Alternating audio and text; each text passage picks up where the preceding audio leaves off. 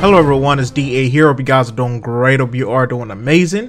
Today's video is going to be a little bit different. I decided I will share with you guys 10 types of players that I have encountered in Warframe over the past five years. So the first we have the main guy. This is the guy who told you that a particular Warframe or weapon is their main weapon or their mainframe.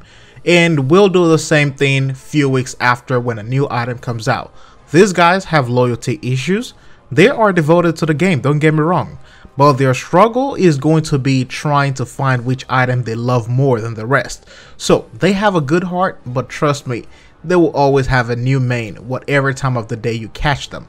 The next one you have the hype man. This is the person who is always hyped regardless of what it is, even if the item only does cosmetic damage. This is a person who doesn't care if the item is good or bad. They're just glad that we have an update they sometimes fall in line with the main guy or girl, and if you ever see them say something is wrong with an item, you have to believe them because they rarely, rarely even say anything is wrong about an item because they're just always pumped and hyped. Next, we have the unimpressed person. Well, unlike the hype man, this is that one person who is never impressed about anything ever. This type of people will often make statements like, calm down people, they'll probably nerf it in a couple of days. Oh my god, you guys are making videos about it?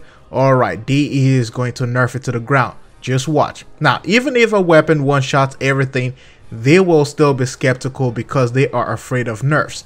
Now, the reason for that is because they've been hurt before, probably because their favorite warframe or favorite items got nerfed.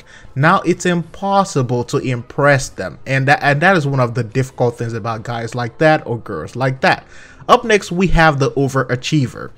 We all know that guy or girl, dearly devoted. A warframe, a weapon set could be out 10 minutes ago and these guys already have six forma on each item. I don't know how to do it. You sometimes even wonder how do you even do it? Some of them are your favorite YouTubers. you ask them if they ever sleep. I know someone has asked me that question before. And some of them could even be your boyfriend or your girlfriend. They format everything like they work for the national treasury of all things forma. These guys are impressive. Sometimes you even envy them and wonder how they have the time to do that and how fast they're moving when they're doing all these things. Next, we have the underachiever. You know, we had the overachiever, this is the underachiever. This is the person who still haven't maxed a weapon they got last May. I'm talking about 2017 May. And let us be honest, some of us have been guilty about that from time to time. These are the people who call everything a mastery fodder, and they use that as a reason for them not maxing each item.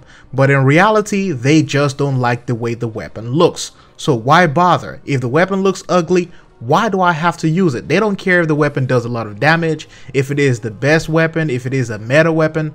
They don't care. If it doesn't look good, they're not going to touch it. They're just going to get it, max it to maybe level 15, and just keep it moving. On number 6, we have the fashion frame. This is that one person who doesn't care if the build is right or wrong. Their fullest powers and potential lies in fashion frame. All they do is cosmetic damage all day. They just gotta look good. These are the players who often put on the fanciest animations just so that you can look at them when they get into your missions. If you plan on playing with these guys, expect to be in a queue with these guys for at least 10 minutes because trust me, they will have to make sure that their fashion is on point.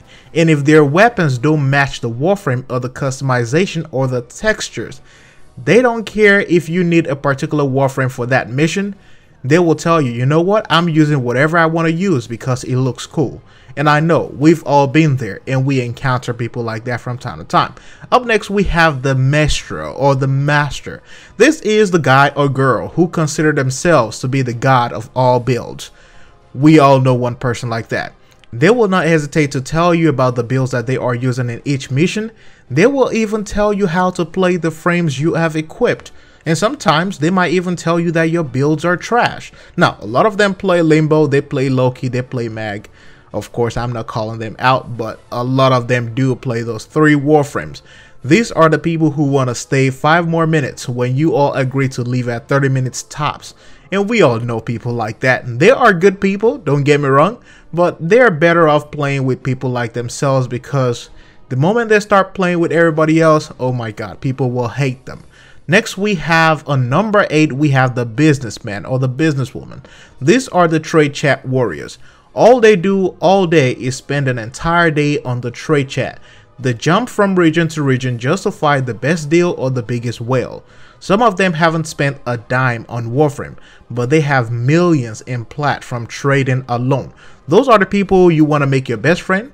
People like that only play and grind maybe twice a week, and everything else is all about the trade chat because they are obsessed with becoming richer in Warframe. On number 9, we have the Whale easily scammed and taken advantage of. A lot of them are new to the game, and once they finally realize that they have been scammed, they will become the guys and girls who want to sell you a non-tradable items or list a syndicate mod on the trade chat for 100 plats each. They do learn in time, but a whole new whale always arrives daily. So the whale is always going to evolve and they don't mind spending. Finally, we have a number 10 and we have the dropout.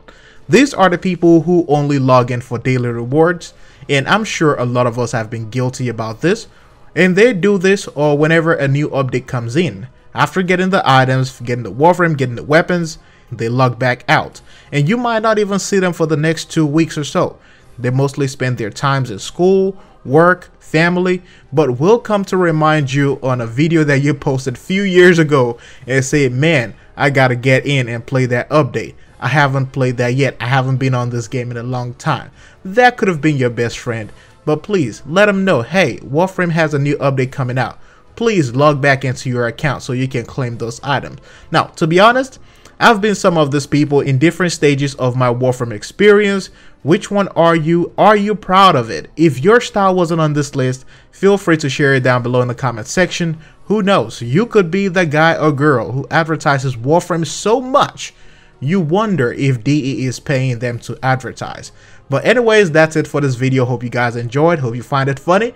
Thanks for watching this video. Hope you like it. I'll see you guys in the next one.